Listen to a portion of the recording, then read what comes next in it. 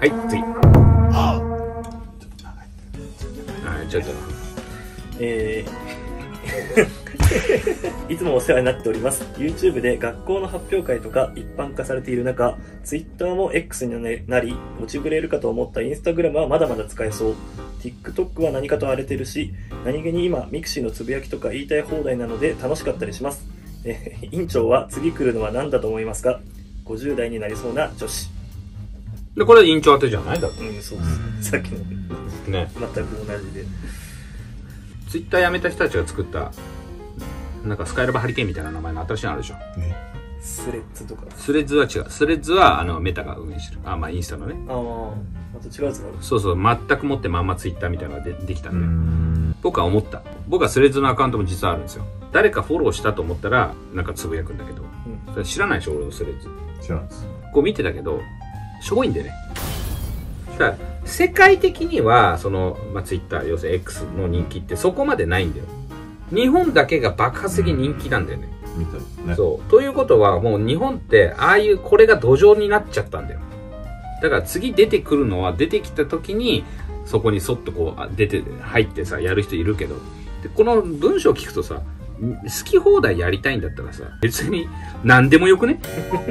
あの mixi もあのアカウントあるんだけどもちろんユアンドって名前でやってないけど昔はこうそれこそツイッターと連携してたのだからそこでつぶやくとこっちにも出てたのうんそれも連携もなくなっちゃって、びっくりした。誰も何も書いてない。アメブロとかも30周年なんですよ。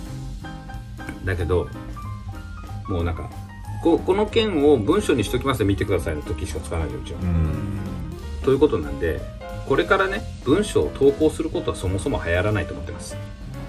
それぞれある SNS の X でもインスタでも、まあ、スレでも何でもいいけど、物事をつぶやいた文章を見るのがめんどくさいね。どんどんそれが加速してる。読むのがめんどくさい。こうやって読めなくなっていくの。あ、あ、ここはちょっと、ね、学力のことなんですけど。あの、なので、基本的には動画を投稿する。ショート動画みたいなのを投稿するっていうのがどんどんメインになってくるはずなのね。そうすると、今ある SNS で十分なんだよ。だそれが何かがバズっていく、その SNS 単体がバズっていくとするんだったら、どうやってそれがマネタイズできるのかってことになってくるわけ。収益化。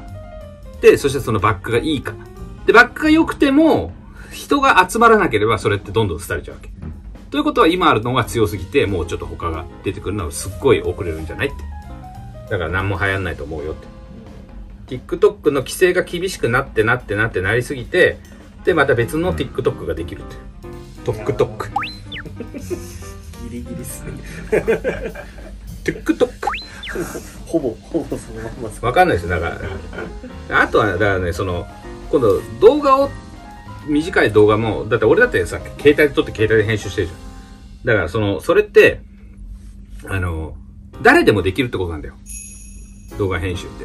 アホでもできるの？だから、そういうのでやると。でも、顔出したりなんなりっていうのってハードル高いじゃん。だから、それ以上新しいものって流行んないんだよ。そういうことなんですよ。まあ、一般の方が、なんかそういったことをやろうと思っても、一般の方はそもそも、思い出を残す以上にやる必要性ないんだよね。うん。つぶやく義務とか、発信しなきゃいけないっていう義務がそもそもないから、そそれそのものが廃れていくんじゃないのとは思うよ。うん。ということです。すごい穏やかな話。ね、ちゃんと考えてやってるからですね。なバカが何でもどんぶり感情でやってると思ってるあのいやいや、そので、大事なことは、委員長に聞きたきゃ委員長に送れってこと。そうですねだから、0点なんですよ。はい、次。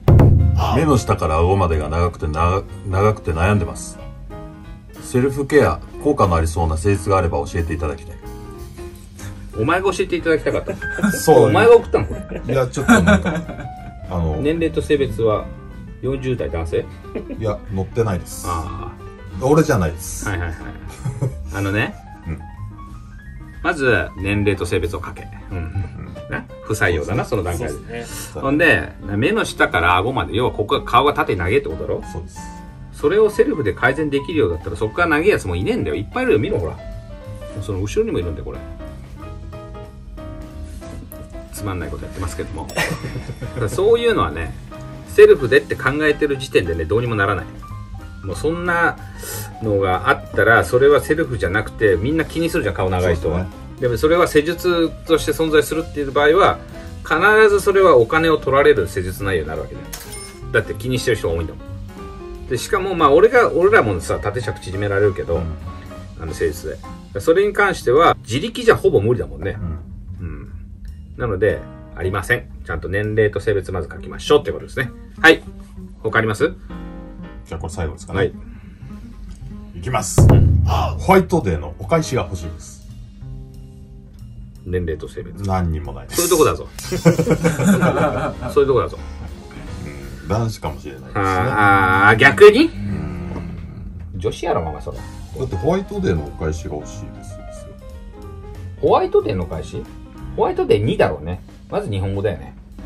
ホワイトデーのお返しってなんやねんって話。でしょ男子だよ男子ななのかなと思って。でバレンタインもらってホワイトデーをにのそれのまたおあげたお返しをくれってこと。バカなのか。男子、え、なん、どういうことだ？バレンタインのもう、その企画自体がわけわかんなくなるんですけど、うん。男子かはい。ら女子に渡すバレンタインってあるんですか、ああいい質問ですね、バレンタインでチョコを送って女性から告白するっていうのは日本だけですですよ。ね。そもそも、はい。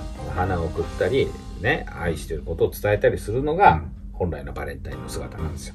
だから日本だけがバカなことやってそれを真実と思い込んでるわけですね、ということでチョコレートになぜだったの？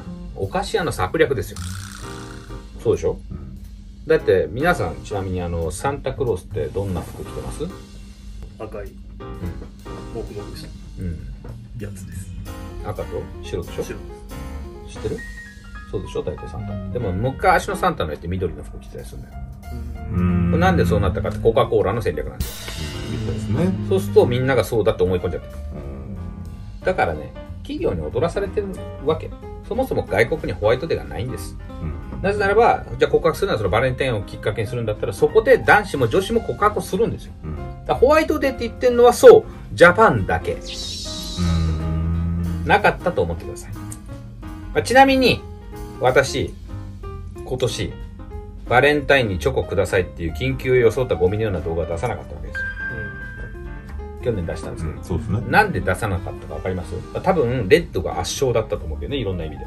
うん。そうタイミング的に。いつも山盛りなんかこうそれこそサンタさんみたいに抱えて帰ってたから。これガッサイでこうやって。あいつは甘いものをそんなに好きではない。なんでかわかりますか？それでもかなりの数もらったんよ。うあ、もらってましたね。もらってましためちゃくちゃもらいましたとてもありがとうございますなんで出さなかった？ん。試したんですか？愛を。どんだけ愛されてるか。どのぐらい僕のことを認識してるのかとでここで発表したいと思いますユアンドの院長に自分の認識からチョコなり何なりをくれた皆さんあなたたちに来店2ポイントを差し上げたいと思います。僕からのホワイトでバレンタインのお菓子で。これね勘違いしちゃダメなのは俺これ絶対にもう受け取らないっていうのがあるんだけど皆さんに言ってあげた場合僕それカウントしないでください。知らないんで俺は。俺は特別扱いされたわけ。だから逆に今度言わず去年は言ったが今年は言わずでみんながどう動いたか。3月の14日までにチョコをくれた人はもうこれ多分動画出るの3月14日以降でしょそうですね。はい。なんで、まあ、それまでに僕になんかくれたっていう、直でくれましたと。じゃあ思ってるわけですよ。君たちのことだよ。ね。と、所長言ったわけですよ、いっぱい。その人たちは来店2ポイント。スタッフにってあげて、ついでにそこに委員長がいても、委員長はそういうの一切食べないから。特別扱いされたいから。わかったか？めんどくさい。すいません。すみません。謝っといてお前たちこういう人間なんだよ。みんながさ、僕の教えた施術でさ、うん、なんか、そしたら何いや、それ担当にチョコ、元ネタにチョコでしょ。わかります？考えたらわかるんですよ。妻も子もいるんです。男の子はチョコが好き。ね？うちの子なんて、こうガッサン紙袋って持って帰って、うわーって言ってたから。で、院長単体にめがけてくれた方は全員2ポイント差し上げますので、はい。この動画を見てることを祈ると。はい、そうですね。はい。